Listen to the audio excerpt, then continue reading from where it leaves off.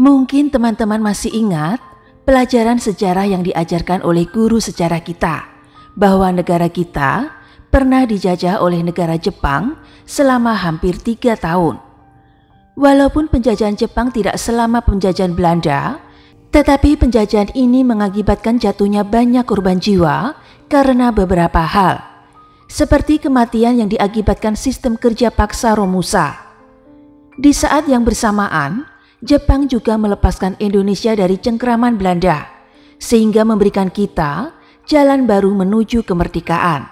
Nah, pada kesempatan ini, saya akan membahas tentang Kaisar Jepang yang berkuasa pada saat Indonesia dijajah Jepang, yaitu Kaisar Hirohito.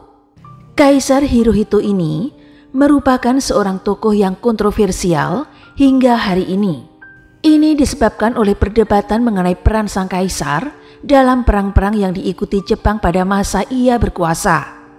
Berbeda dengan pemimpin negara sekutu, di mana para pemimpinnya menemui kematian yang tidak wajar, seperti Mussolini, pemimpin Italia yang kematiannya ditembak. Kemudian ada Hitler dari Jerman yang meninggal karena bunuh diri. Tetapi Kaisar Jepang ini memiliki nasib yang jauh lebih baik.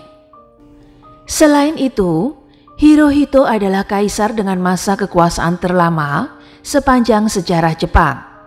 Dia berkuasa dari tahun 1926 hingga tahun 1989 atau tepatnya 63 tahun. Hirohito juga merupakan salah satu tokoh penting pada masa Perang Dunia II. Dia juga bertanggung jawab dan berhasil memulihkan pembangunan kembali Jepang akibat bom atom yang dijatuhkan Amerika Serikat pada Perang Dunia II di Hiroshima dan Nagasaki. Penasaran kan dengan kisah selengkapnya? Langsung saja yuk ikuti kisahnya sampai selesai.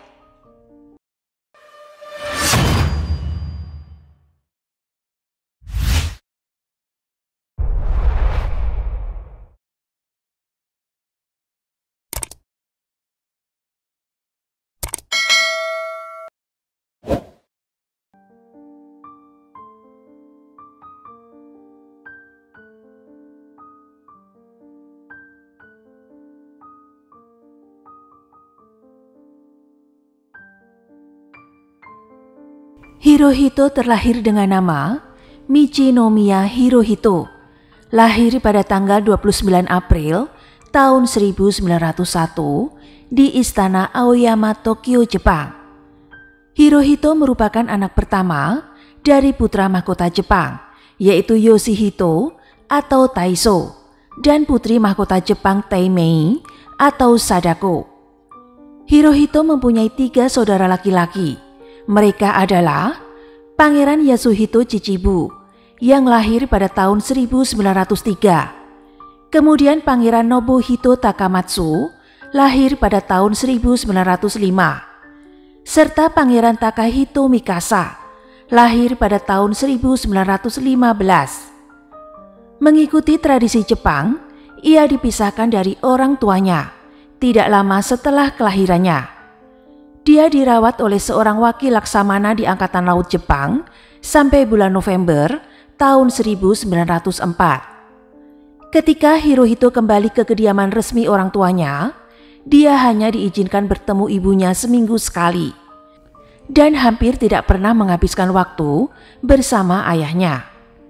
Dari usia 7 hingga 19 tahun, ia mengikuti sekolah yang didirikan untuk anak-anak bangsawan. Dia menerima pelajaran disiplin yang ketat dalam hal-hal militer dan agama, bersama dengan mata pelajaran lain seperti matematika dan fisika. Ketika masih berumur 11 tahun, orang tuanya naik tahta menjadi kaisar Jepang dan ratu Jepang. Hirohito mengenyam pendidikan awal di Gakusuin Peer School dari April tahun 1908 hingga April tahun 1914 kemudian mendapatkan pendidikan khusus untuk putra mahkota di Istana Akasaka dari tahun 1914 sampai Februari tahun 1921 dan mendapatkan karir sebagai letnan pada tanggal 9 Desember tahun 1912 pada Angkatan Darat Kekaisaran.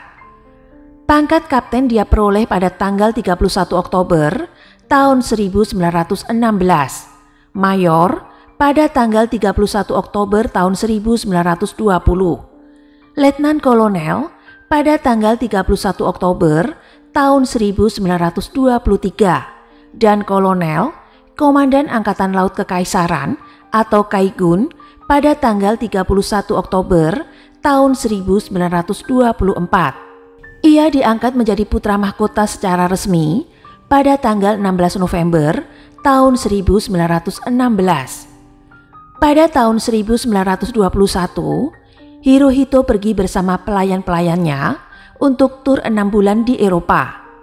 Dia menjadi anggota keluarga kekaisaran Jepang pertama yang bepergian ke luar negeri. Kunjungan ini dianggap kelompok sayap kanan sebagai kunjungan kontroversial sehingga menewaskan Perdana Menteri Hamaguchi. Ketika kembali ke Jepang, ia diangkat sebagai wali ayahnya karena kesehatan mental ayahnya yang terus memburuk. Kemudian dia menikah dengan Putri Nagako, putri sulung Pangeran Kuniyoshi pada tanggal 26 Januari tahun 1924 dan dikaruniai tujuh anak. Masing-masing anaknya bernama satu Putri Teru Shigeku yang lahir pada tahun 1925. Yang kedua, Putri Hisa Sachiko lahir pada tahun 1927. Yang ketiga, Putri Taka Kasuko lahir pada tahun 1929. Yang keempat, Putri Yori Atsuko lahir pada tahun 1931. Yang kelima, Pangeran Akihito lahir pada tahun 1933. Yang keenam, Pangeran Hitachi Masahito lahir pada tahun 1935. Yang ketujuh, Putri Suga Takako lahir pada tahun 1939. Ia dinobatkan menjadi kaisar pada tanggal 25 Desember tahun 1926 setelah ayahnya, yaitu Kaisar Taiso meninggal. Hirohito dilantik secara resmi pada tanggal 10 November tahun 1928 di Tokyo. Ketika Hirohito naik tahta menjadi kaisar, keadaan Jepang saat itu bisa dibilang cukup kacau. Ekonomi Jepang merosot, gerakan militerisme meningkat, dan terjadi serangkaian pembunuhan politik. Hal-hal tersebut menyebabkan rintangan bagi gerakan demokrasi yang sebelumnya sempat berkembang di Jepang. Contohnya adalah pembunuhan Perdana Menteri Jepang Inuke Soyoshi pada tahun 1932 oleh perwira muda Angkatan Laut Jepang. Sejak saat itu, hampir semua Perdana Menteri Jepang berasal dari militer dan bukan dari partai politik. Akhirnya, partai-partai politik dibubarkan pada tahun 1940. Sebenarnya konstitusi Meiji yang disahkan pada tahun 1889 telah memberi kaisar otoritas tertinggi. Tetapi dalam prakteknya, sang kaisar secara umum memberikan persetujuannya terhadap kebijakan yang dibawa oleh para menteri dan penasehatnya. Walau begitu, terkadang dia tidak tinggal diam dan menegaskan otoritasnya. Hal ini dapat dilihat ketika sang kaisar memerintahkan penumpasan percobaan kudeta oleh sekitar 1.400 tentara Jepang pada bulan Februari tahun 1936 di Tokyo. Pemberontakan itu berhasil ditumpas dan sejumlah jenderal berpangkat yang dianggap memprovokasi pemberontakan dipaksa pensiun. Kalau kondisi dalam negeri terdengar buruk, teman-teman belum mendengar tentang kondisi luar negerinya. Hubungan Jepang dengan negara-negara lain bisa dibilang berantakan. Pada tahun 1931, perwira Jepang menyerang Manchuria, bagian timur Laut Cina, tanpa izin dari pemerintah Jepang maupun Kaisar Hirohito, dan mendirikan negara boneka di sana. Tidak selesai di situ saja, militer Jepang melanjutkan perang di Cina pada tahun 1937 disertai dengan kejahatan perang, pembantaian, dan pemerkosaan massal seperti yang terjadi di kota Nanking pada tahun 1937. Tidak berhenti di Cina saja, Jepang mempunyai ambisi untuk memperluas daerah kekuasaannya di seluruh Asia Timur dan Tenggara. Jepang menandatangani fakta tripartit dengan Nazi Jerman dan Italia pada bulan September tahun 1940. Setelah itu, Jepang mengirim pasukan untuk menduduki Indochina Prancis yang meliputi Kamboja, Laos, dan Vietnam. Pada tahun 1941, Kaisar Hirohito menyetujui keputusan pemerintahannya untuk berperang melawan Amerika Serikat. Pada tanggal 7 Desember tahun 1941, pesawat Jepang menyerang pangkalan laut Amerika Serikat di Pearl Harbor dekat Honolulu, Hawaii. Akibatnya, 18 kapal Amerika Serikat hancur atau rusak dan korban jiwa mencapai hampir 2.500 orang. Keesokan harinya, Amerika Serikat menyatakan perang terhadap Jepang dan resmi mengikuti Perang Dunia II. Jepang kemudian menyerang berbagai daerah di Asia. Salah satunya adalah Indonesia yang dulu bernama Hindia Belanda, Singapura, Malaysia, Papua Nugini, Filipina, dan sejumlah lokasi lain di Asia Tenggara dan Laut Pasifik. Seiring berjalannya waktu, Jepang mengalami kesulitan dalam perangnya seperti sumber daya yang terbatas. Jepang sudah praktis kalah perang. Angkatan lautnya bisa dikatakan hampir habis dan angkatan daratnya kewalahan.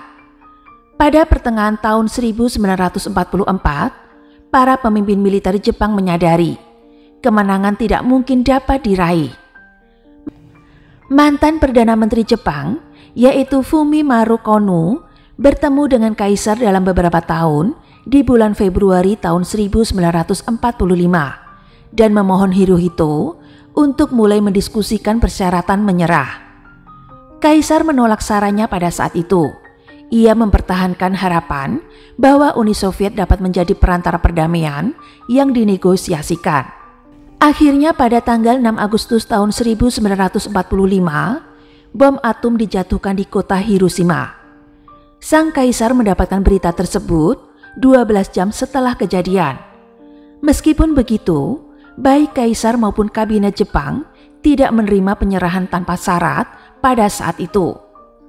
Harapan kaisar untuk bernegosiasi damai melalui Uni Soviet hancur ketika pada tanggal 9 Agustus tahun 1945 bom atom dijatuhkan di kota Nagasaki. Dan di hari yang sama, Uni Soviet meluncurkan invasi ke Manchuria. Malam itu, dalam pertemuan dengan pemimpin lain, Hirohito menyatakan niatnya untuk menerima deklarasi Potsdam. Pada tanggal 15 Agustus tahun 1945, Kaisar Hirohito membacakan pengumuman bersejarah melalui radio, di mana ia menerima kekalahan Jepang. Bagi masyarakat Jepang, ini adalah pertama kalinya mereka mendengar suara dari sang kaisar. Pada pengumumannya, Hirohito tidak menggunakan kata menyerah. Sehingga seusai pengumumannya, maksud dari sang kaisar diperjelas oleh penyiar radio. Seusai Perang Dunia II, beberapa pemimpin sekutu ingin mengadili Hirohito sebagai kriminal perang. Ada banyak keterangan kontroversial mengenai keterlibatannya dalam perang, baik sebelum maupun pada saat Perang Dunia Kedua. Di antaranya adalah David Bergami, dalam bukunya yang berjudul Japan Imperial Konspirasi yang mengatakan bahwa kaisar terlibat dalam perencanaan perang. Namun banyak pula yang tidak setuju dengan alasan bahwa dia hanyalah sebagai simbol dan pemimpin agama. Sebagaimana kaisar-kaisar periode sebelumnya, Shogun sekalipun pada saat itu berkedudukan sebagai komando tertinggi.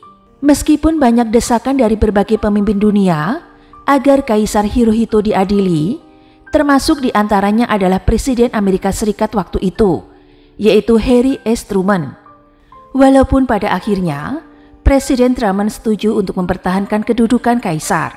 Panglima pendudukan, yaitu Jenderal Douglas MacArthur, juga tetap menempatkan Hirohito pada tatanya dan membuat kesepakatan dengan sang kaisar yang meliputi penerapan konstitusi baru bagi Jepang dan penolakan aspek kedewaan dari seorang kaisar. Kaisar Hirohito menyetujuinya. Dalam siaran radio bersejarah kedua, pada 1 Januari tahun 1946, Hirohito menolak status tradisional setengah dewa sebagai kaisar Jepang. Di bawah konstitusi baru yang dirancang oleh Amerika Serikat pada tahun 1946 dan berlaku sejak tahun 1947, Jepang berubah menjadi negara monarki konstitusional. Kedudukan kaisar pada tatanya didasarkan pada konstitusi baru yang diterapkan pada tanggal 3 Mei tahun 1947 yang dinamakan Konstitusi Jepang tahun 1947 atau Konstitusi Pasca Perang, di mana kekuasaan seorang kaisar sangat dibatasi. Dan kaisar hanya ditunjuk sebagai lambang atau simbol dan kepala kerajaan atau monarki konstitusional. Konstitusi ini menggantikan konstitusi Jepang tahun 1889 pada era Meiji di mana kaisar sebagai pemegang komando dan kekuasaan tertinggi. Setelah ini, Kaisar Hirohito mulai membuat banyak penampilan publik dan mengizinkan publikasi gambar dan cerita tentang kehidupan pribadi dan keluarganya. Dari tahun 1945 hingga tahun 1951, Hirohito mengelilingi Jepang dan mengawasi upaya rekonstruksi pasca perang. Hal tersebut dilakukan untuk membawa keluarga kekaisaran Jepang lebih dekat dengan rakyat. Pendudukan Amerika Serikat di Jepang berakhir pada tahun 1952.